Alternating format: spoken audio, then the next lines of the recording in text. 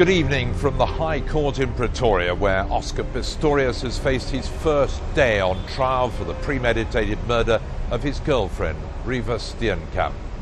It was in the early hours of Valentine's Day last year that Oscar Pistorius shot Reeva, thinking, Pistorius maintains, that she was an intruder hiding inside his bathroom. Throughout the trial, we're going to be bringing you the key exchanges between the prosecution and defence lawyers and the testimony of the key witnesses.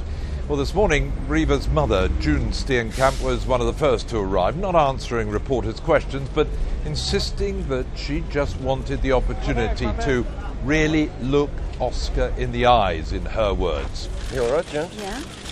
Okay. Then, Oscar Pistorius himself.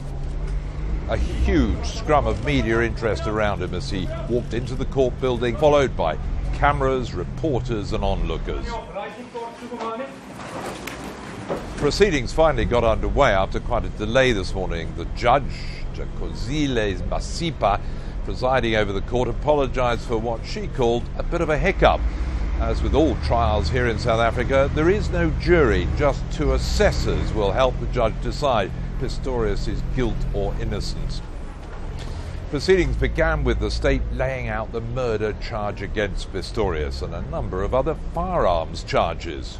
The first count against the accused, count one, is one of murder. The accused did unlawfully and intentionally kill a person, to wit, Reeva Steenkamp, a 29 year old female. Yes. That is count one. That's count one. Yes. Do you understand the charges, Mr. Pistorius? I do. I do, my lady. How do you plead? Not guilty, my lady. In count number two, in that the accused is guilty of the offence of contravention. On or about 30 September 2012, and whilst driving in a vehicle with other passengers on a public road at or near Modderfontein in the district of Kempton Park, the accused did unlawfully discharge a firearm without good reason to do so by firing a shot with his own 9mm pistol through the open sunroof of the car they were travelling in. How do you plead? Uh, not guilty, my lady. Count three, and at Tasha's restaurant Melrose Arch in the district of Johannesburg, the accused unlawfully discharged a firearm to wit a Glock 27 pistol without any good reason to do so. How do you plead? Not guilty, my lady. And then finally, count four, the accused did unlawfully have in his possession ammunition to wit 38.38 rounds without being the holder of a license in respect of the firearm capable of discharging the ammunition, a permit to possess ammunition, C, a dealer's license, manufacturer's license, gunsmith license, import, export, or in transit permit, or a transporter's permit issued in terms of the Act, or D, or is otherwise authorized to do so. Do you understand count four? I do, my lady. How do you plead? Not guilty, my lady. Not guilty. Next, defence lawyer Kenny Oldwage had the opportunity to present Pistorius' opening statement, in which he categorically rejected the allegation that he shot Reeva intentionally. The state has contended that I unlawfully and intentionally killed Reeva Steenkamp. This allegation is denied in the strongest terms. In fact, at the time of the tragic accident which led to Reeva's death, we were in a loving relationship. Whilst I admit that I inflicted the fatal gunshot wounds to Reeva, this occurrence was indeed an accident in that I had mistakenly believed that an intruder or intruders had entered my home and posed an imminent threat to Reeva and me. During the early hours of the morning, I brought two fans in from the balcony. I had shortly before spoken to Reeva, who was in bed beside me. Unbeknown to me, Reeva must have gone to the toilet in the bathroom at the time when I brought the fans, brought in the fans, closed the sliding doors, and drew the blinds and the curtains. I heard the bathroom window sliding open. I believed that an intruder or intruders had entered the bathroom through the bathroom window, which was not fitted with burglar bars. I approached the bathroom armed with my firearm so as to defend Reeva and I. At that time, I believed Reeva was still in the bed. The discharging of my firearm was precipitated by a noise in the toilet, which I, in my fearful state, knowing that I was on my stumps, unable to run away or properly defend myself physically, believed to be the intruder or intruders coming out of the toilet to attack Reeva and me. At my bail application, the state inter alia contended that I deliberately shot Reeva whilst I was positioned at a distance of about 1.5 meters from the toilet door, whilst I was standing on my prosthesis. The allegation with reference to 1.5 meters and me wearing my prosthesis was clearly designed to suggest that I had pursued Reeva to the toilet and that I therefore knew that Reeva was in the toilet. Thus, that I did not entertain any fear at a time when it is alleged that I entered the bathroom. The state has also, by means of the evidence of the then investigating officer Hilton Botha, sought to rely on a statement by a witness who I am told is a certain Estelle van der Merwe, who claims to have heard what sounded like a woman's voice prior to the shooting, talking non-stop like fighting. Van der Merwe's house is located approximately 105 meters from my bedroom, with my bedroom and bathroom windows facing in the opposite direction to Van der Merwe's house. It would not have been possible for Van der Merwe to have heard anyone talking from my bedroom in their bedroom. Now alleges, and the further particulars provided, that there was, in fact, an argument between Reeva and I, and that I killed Reeva, in quotes, because of the argument.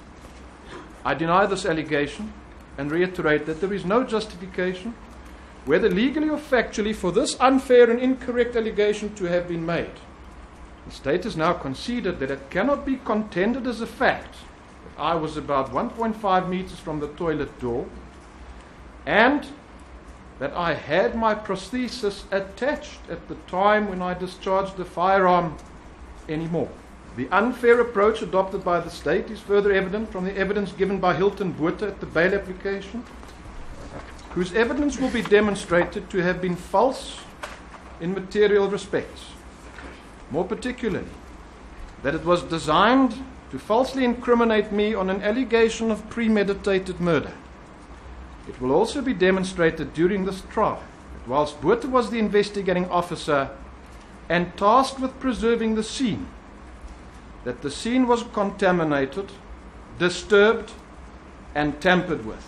I have been led to understand that it is unusual to challenge the state's case in my plea explanation to the extent that I do herein. However, I am left with no alternative but to explain my innocence with reference to the allegations leveled against me. As the state is aware of the fact that it has no evidence to prove an alleged argument, and in particular in view of the fact that the state has conceded that it does not know what the features or import of such alleged argument would have been, the only intended purpose of an attempt to introduce inadmissible character evidence would be to engineer and bring about an inadmissible attempted assassination of my character. That no truthful evidence can ever be tendered that I fired the shots, and I quote, because of the argument, unquote. I deny this allegation in the strongest terms because there was no argument. The allegation that I wanted to shoot, brackets, or kill, close brackets, Reeva, cannot be further from the truth. Well, watching it all unfold from the front row of the media benches inside the court, our correspondent Alex Crawford, tell us a bit about the atmosphere in there. Well, quite an electric atmosphere to begin with, uh, apart from the fact that we had one and a half hour delay at the beginning, but everyone arrived very full of tension. You could feel the tension uh, in the room. And then we waited and we waited and we waited, and slowly that tension dissipated. Uh, and then it became a little bit farcical because the, the interpreter wasn't able to be found. And then when she turned up, it became evident that the first witness spoke better English than the interpreter. Uh, but you got a, a, real sense of how much stronger the Pistorius team was, I thought. I mean, compared to the last time Oscar Pistorius uh, appeared before the court at his bail application hearing, he was a mess, and so was his family. He spent most of the time absolutely sobbing, had to be told repeatedly by the magistrate to pull himself together. He was a broken man then. Uh, he looked awful. Um, he sounded terrible and he could not stop crying. His family were also spent a lot of the time crying, his brother and his sister, holding hands, praying, crying. This time, the family were much more strong, they appeared much more confident.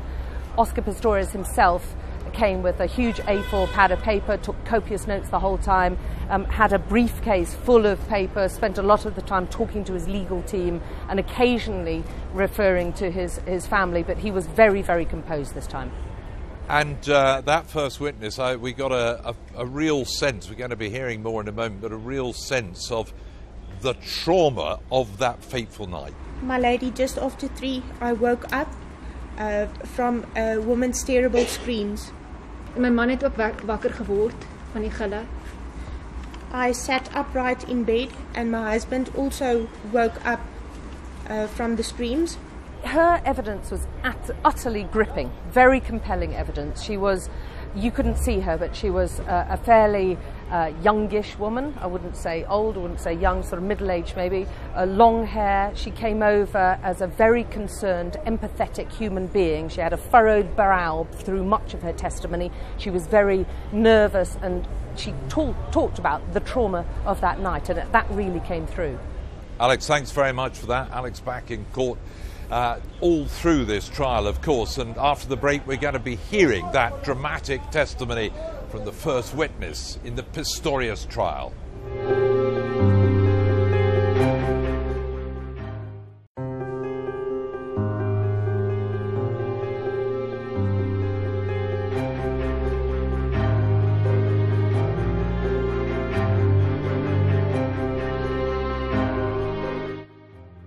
Welcome back to Pretoria, where Oscar Pistorius has faced his first day in the court that will decide whether or not he's guilty of the premeditated murder of his girlfriend, Reeva Steenkamp. After opening statements from both the state prosecutor and Pistorius' defense team, the first witness in this case was called. She was Michelle Burger, a neighbour of Pistorius's on his exclusive estate in Pretoria. She lived just 170 metres away from his home, and she described how she heard screams and gunshots on that fateful night of Reeva's death. Paul Harrison reports on her testimony. Verklaring wat ons wat afgeneem is deur kaptein Mike van Aardt. On the witness stand, speaking in her mother tongue, Afrikaans, and choosing not to give evidence on camera, university lecturer Michelle Burger was the first of 107 witnesses. The home she shared with her husband, 177 metres from the scene of the shooting. My lady, just after three, I woke up uh, from a woman's terrible screams. I sat upright in bed, and my husband also woke up uh, from the screams. My husband jumped up and uh, went to the balcony. I was still sitting uh, in the bed, and I heard her screams. She screamed terribly and she uh, yelled for help. Then I also heard a man screaming for help, and he uh, three times he yelled for help my husband talked on the phone and explained to the security that there are people uh, next door being attacked and that they uh, should go there. I was still sitting in bed. I heard her screams again. It was worse, it was more intense. Prosecutor Gerrie Nel, the man looking to put Oscar Pistorius behind bars, was keen to be clear about the number of shots fired by Pistorius on Valentine's Day last year. There were four shots. You, uh, you said the first could you perhaps give us a demonstration by using bum? Bang. Bang, bang, bang. Daar was 'n groter pose. There was a, a longer pause between number 1 and 2 than between number 2 and 3 and 3 and 4. Then I told my husband that I do not hope that that woman saw her husband being shot in front of her because after he screamed for help, we did not hear him again. It was uh, very traumatic for me. Uh, you could hear that it was blood curdling screams, and um, it leaves you cold. You can't translate it in work the, the anxiousness in her voice fear. and fear. I started working, and then later on, my husband called me. He asked me if I could remember what happened the previous night, and I said yes. He then uh, told me that uh, at the office he just heard that Mr. Oscar Pistorius is on the news and he thought that there was an intruder and then he shot his girlfriend. I told my husband that it cannot be because it's not uh, what we heard clearly chosen by the prosecution because she contradicts the Olympic athlete's version of events. The exchanges between the neighbour and Pistorius' defence team were always going to be fiery. That you stand there believing that Oscar Pistorius lies and that he lied at the bail application. I cannot understand why Mr. Pistorius did not hear the screams of the woman. And if he did not hear the screams of the woman, that is what that's a question that needs to be asked to Mr. Pistorius. Could there have been shots fired before you woke up? Ek het vier skote gehoor. I heard four gunshots after I woke up. Madam, what was my question? Because I think that there's some misunderstanding between the two of us. What was my question? Can you remember it at all? The question is repeatedly about when I heard the shots fired. I'm not letting you off the hook. I'm coming back to my question that you have not answered five times. As Pistorius' defence lawyer Barry Roux pushed harder, so language became an issue. Michelle Burger switched to English to make her strength of feeling clear. Milady, I'd like to explain this in English. The events of that evening was extremely traumatic for me. The fear in that woman's voice is difficult to explain to the court. I was traumatized through what I heard that evening. So obviously, I didn't go to bed without any, as usual, and just carry on. It was a very emotional situation to have to hear the absolute petrified screams and shouts. It wasn't just another evening, it was extremely emotional. Milady, I didn't sit there with a stopwatch and take down the timing of each shot. I did not sit there and write down with each shot when she shouted.